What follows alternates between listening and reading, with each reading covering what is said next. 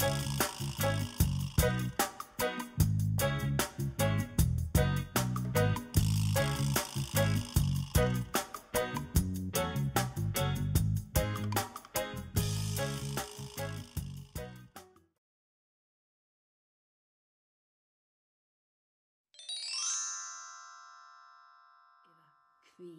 er að banka? Og hún fjallar um stelpu sem að er að fara að sofa. Við sjá. Þetta er reyniskónu hans pappa. En hér er stelpan. Hún er að fara að sofa. Pappi segir, ég ætla að koma eftir smástund og þá ætla ég að lesa fyrir þig og fyrir bánsa og syngja kannski vögguvísi. Stelpan býður og býður og býður. Hvenær er pappi eiginlega að koma? Ég er að býða eftir pappa. Allt í einu. Þá heyrir hún eitthvað. Hún heyrir bank, bank, bank. Hver er að banka? Er það pappi?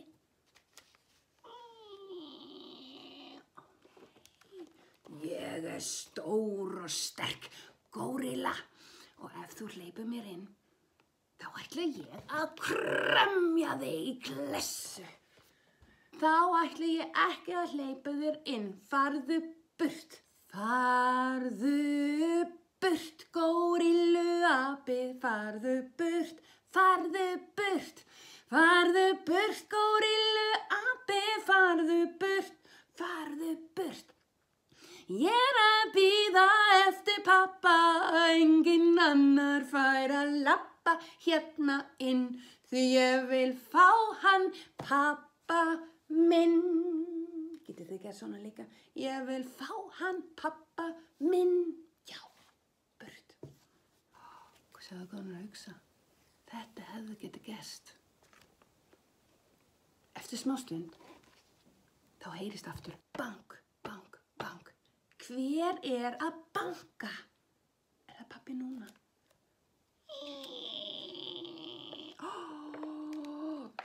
Ég er vond galdra norn og ef þú hleypir mér inn þá ætla ég að breyta þér í froski. Stopp! Ég ætla ekki að hleypa þér inn. Farðu burt. Galdra norn, farðu burt, farðu burt, farðu burt. Galdra norn, farðu burt, farðu burt. Ég er að býða eftir pappa, engin annar fær að lappa hérna inn. Því ég vil fá hann pappa minn. Ó, finnst gott að ég sagði farðu burt því að nornin ætla að breyta mér í frosk. Ó, ó, hvað gerðist núna?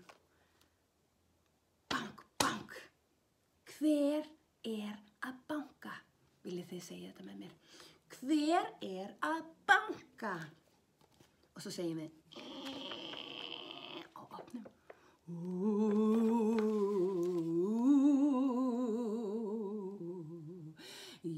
Er hræðilegur draugur og ef þú hleypur mér inn þá ætla ég að hræða þig. Farðu burt, farðu burt, ljóti draugur, farðu burt, farðu burt, farðu burt, ljóti draugur, farðu burt, farðu burt. Ég er að býða eftir pappa, engin annar fær að lappa hérna inn. Því ég vil fá hann pappa minn. Sjáðu hann hugsar. Draugunum ætlaði að hræða mig. Nú er hann farinn sem betur fyrr. Ó, ó. Er þið með mér? Bank, bank. Hver er að banka? Ég er elspúandi dregi. Ef þú leipur mér inn, þá ætla ég að steikja þig í matinn.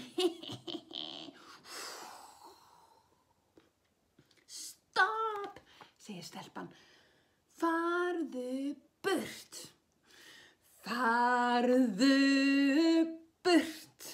Vondi dregi, farðu burt. Farðu burt, farðu burt, vondi dregi, farðu burt, farðu burt. Ég er að býða eftir pappa og engin annar fær að lappa hérna inn því ég vil fá hann pappa minn. Já, burt.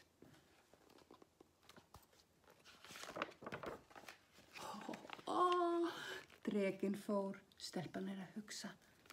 Dregin ætlaði að steikja mig í kvöldmatinn. Eins gott, ég sagði honum að fara burt.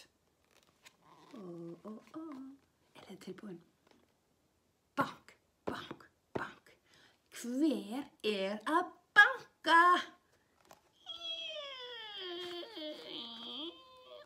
Wow, sjáu þið. Ég er stæsti risi í heimi. Ef þú hleypir mér inn, þá ætla ég að traðka á þig. Ah! Og nú syngjum við saman. Farðu burt, stóri risi, farðu burt, farðu burt, farðu burt, stóri risi, farðu burt, farðu burt. Ég er að býða eftir pappa og engin annar fær að lappa hérna inn því ég vil fá hann pappa minn. Já, aftur er verið að banka. Bank, bank, bank. Hver er að banka?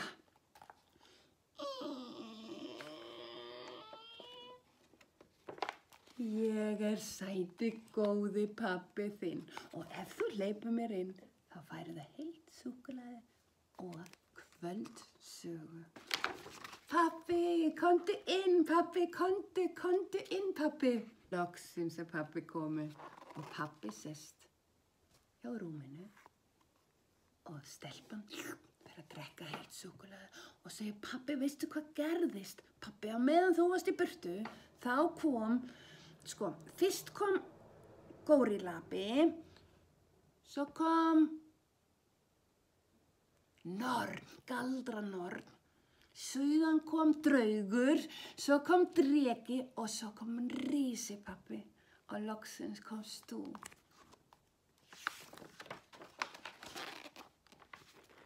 En það var eitt sem var skrítið, tókuði eftir því krakkar, að þau voru öll í inniskónum hans pappa. Var það ekki skrítið?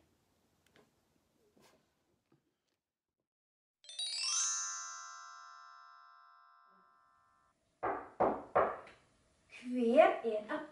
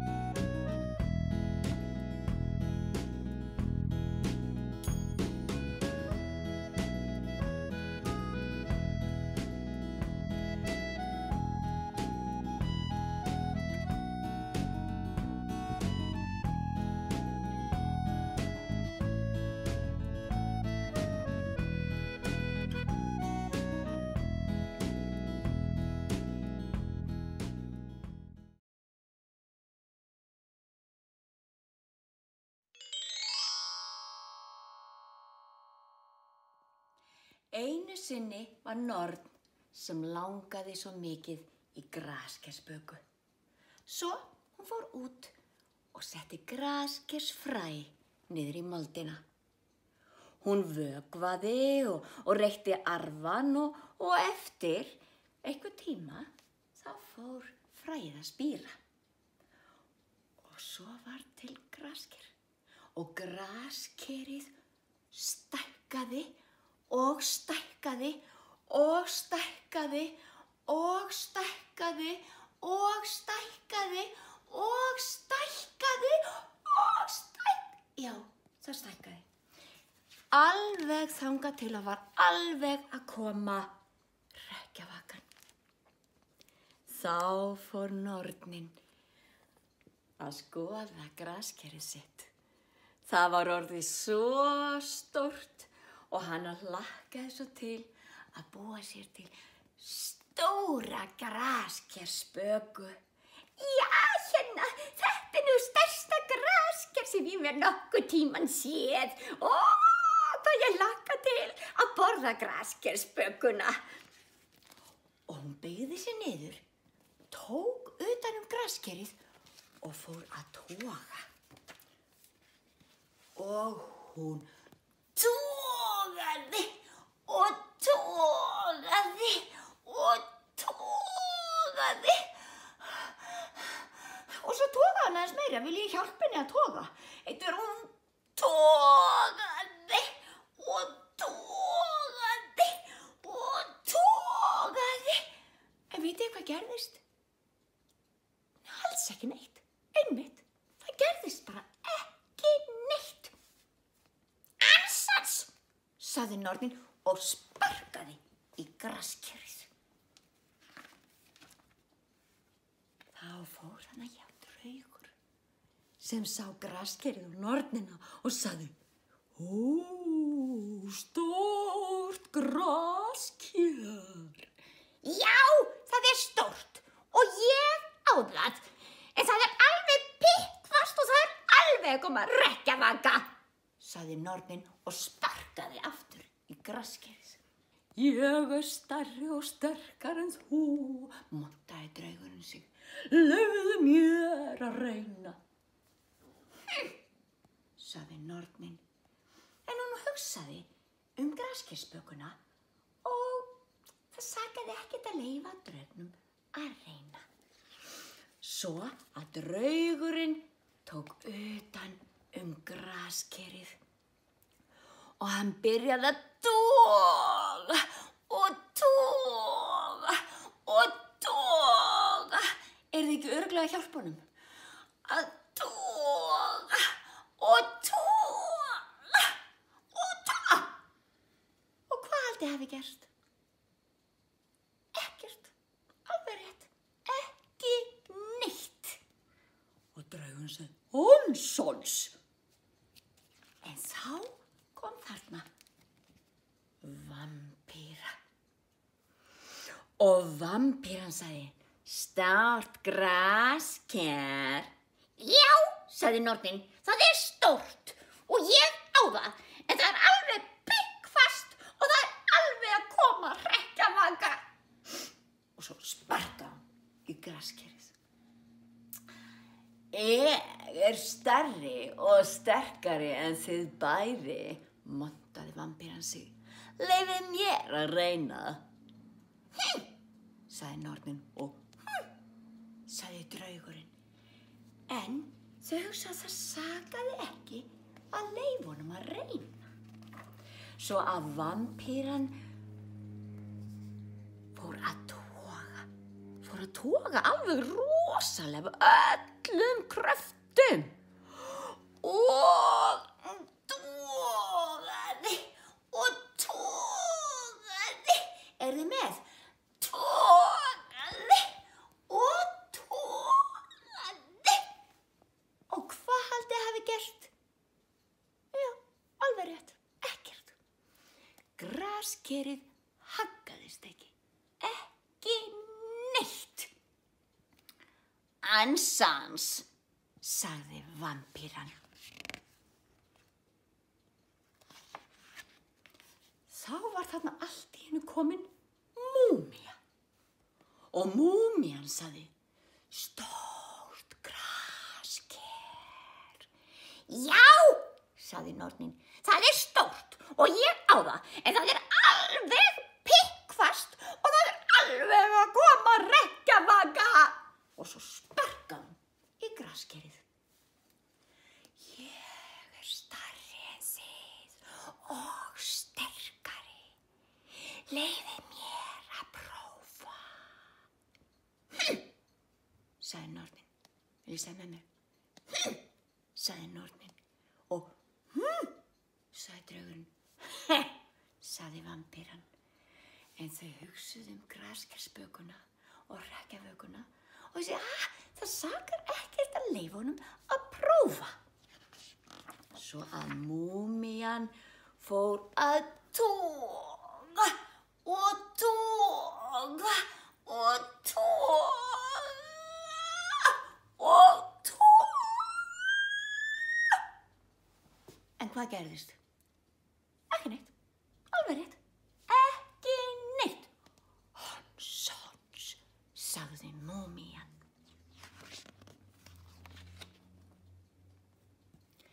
Þá kom þarna lítil leðurblaka. Stórt grasker, sagði leðurblakan. Nornin sagði ekki orð. Hún bara leit á draugin og ránkvóldi augunum svona.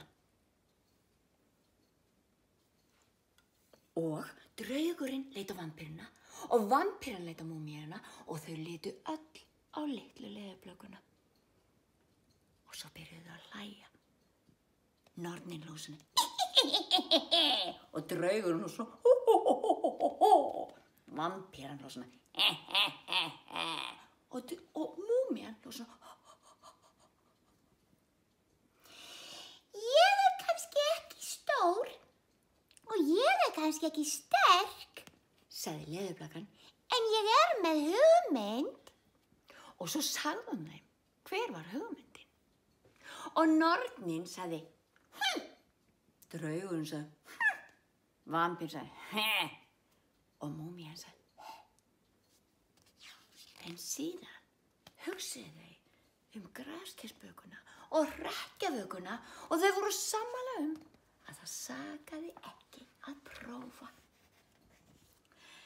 Svo litla leðurblakan tók í múmíuna. Múmían tók í vampýruna, vampýran tók í draugin, draugurinn tók í nornina og nornin tók í graskerið. Og svo ætlum við líka að hjálpa. Er þið tilbúin? Einn, tveir og tóga og tóga og tóga. Eins og enn. Tóga. Og vitið hvað herðist? Það hefði svona. Hvað haldið að það hafi verið? Hmm. Það var alveg rétt hjá ykkur. Graskerið upp í loftið og sjáuði nú bara. Leðurblakkan fór á kolf, kvolf og múmían og, og vampíran draugurinn og nornin öll duttu um koll. Sumir jafnvel á rassin. En stóra, stóra graskerið lendi á jörðinni með stóru bump. Og svo heyrðist þump, þump, þump, þump, þump. Þegar það hoppaði og skoppaði niður brekkuna. Það staðnandist ekki fyrir það var komið heim á húsi Nornmannar. Alveg bara rétt fyrir utan dynnar. Og eftir graskirnu hlupu nornin, draugurinn, vampíran og múmían og leðurblakan raglestina.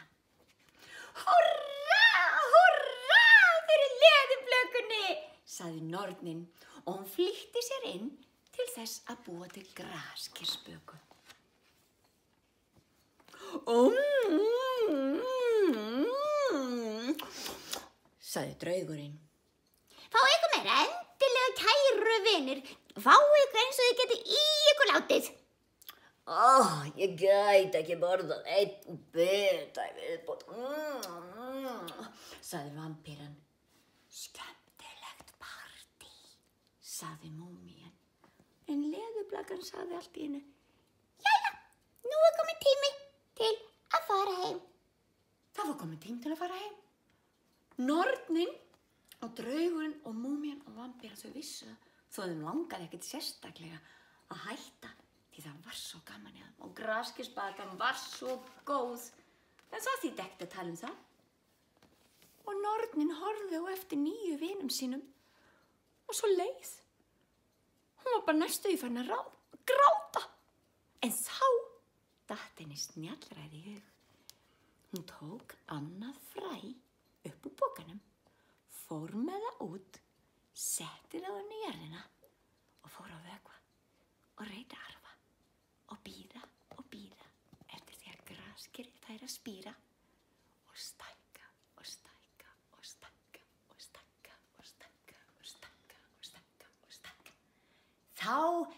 Myndu sko aftur halda rekja vöku partí.